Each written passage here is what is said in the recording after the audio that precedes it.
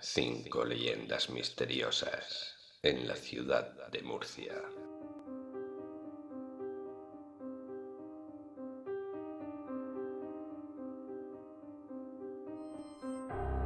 Todos conocemos que Murcia tiene diferentes puntos a lo largo de toda la región en los que se pueden investigar lugares recónditos y escalofriantes como el sanatorio de Sierra Espuña o el tren fantasma de Portman. Sin embargo, en la propia ciudad de Murcia también han ocurrido sucesos fantasmagóricos y siguen presentes leyendas que a día de hoy aún pueden cumplirse. Estas son las cinco leyendas murcianas que aún siguen provocando pesadillas a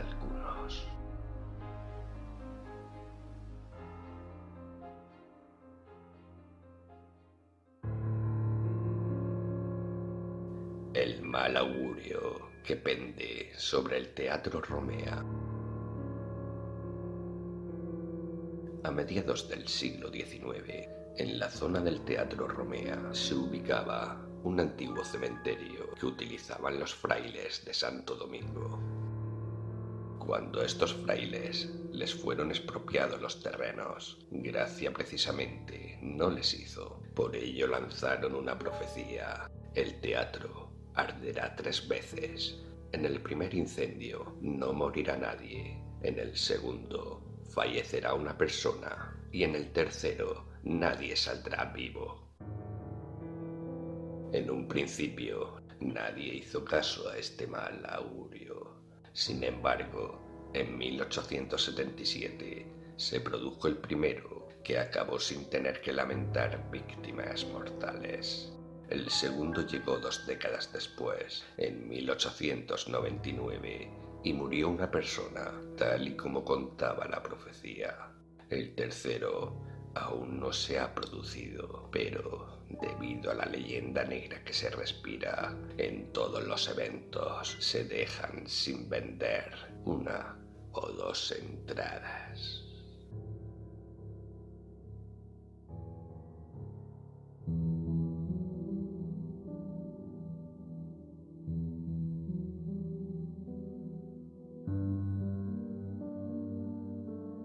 La casa encantada de Santa Eulalia. Un asesinato se produjo en esa casa, una infidelidad que uno de los hermanos Saavedra no perdonó y que castigó con el más severo de los castigos. La noble dama, según cuenta la leyenda, sigue apareciendo cada medianoche en los tejados de la plaza de Santa Eulalia, entre terribles lamentos que no dejan dormir a los vecinos.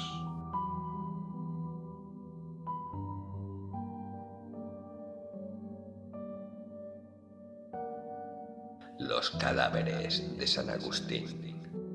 En una calurosa mañana de 1896, en la iglesia de San Agustín, varios albañiles realizaban obras para la mejora y conservación de la iglesia, hasta que, en un momento determinado, uno de los albañiles descubre un hecho macabro. Hay dos personas emparedadas en la pared, en estado de momificación. Esto solo fue el principio de lo que encontrarían después, pues se llegaron a encontrar 11 cuerpos, de los que siete eran niños de entre 1 y 4 años. Algunos dijeron que este hallazgo era fruto de una maldición que había caído sobre la ciudad de Murcia, mientras que otros decían que eran los cadáveres de santos que anteriormente vivían allí. Sin embargo, los investigadores no encontraron explicación a este grado de conservación. Se conservaban casi intactos, cosa que no era normal, puesto que los cuerpos pertenecían a gente humilde y no se podían permitir el gasto de embalsamar los cuerpos. El suceso quedó poco a poco en el olvido, a día de hoy mucha gente asegura escuchar voces extrañas cerca del convento de San Agustín, así como llantos de niños.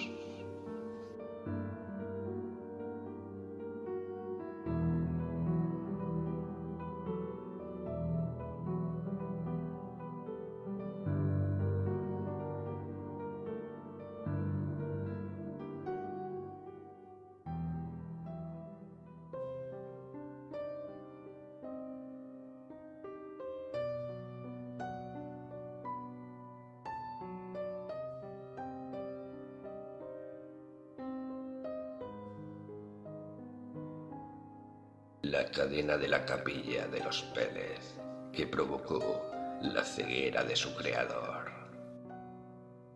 Cuenta la leyenda que un mendigo, que en realidad era un artista, talló la cadena de la capilla y tal fue la belleza de esta que el marqués de los Vélez, al verla y cegado por el egoísmo y los celos de que otro pudiese tener una pieza tan bonita en su colección, decidió sacarle los ojos al mendigo y cortarle las manos.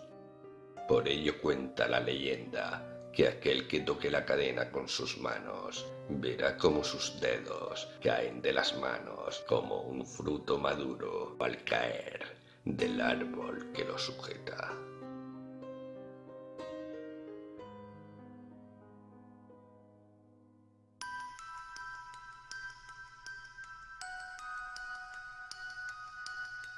Patíbulo de la perla de Murcia en Ronda de Garay.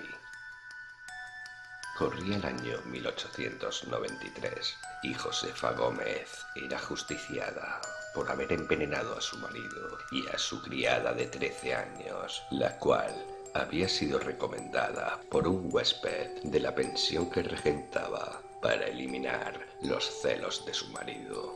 Ella, arrepentida, decía que no quería matar a nadie. Sin embargo, y a pesar de las peticiones de indulto, fue ejecutada y desde entonces se cuenta que cada 29 de octubre se escucha en Ronda de Garay a Josefa lamentar su final.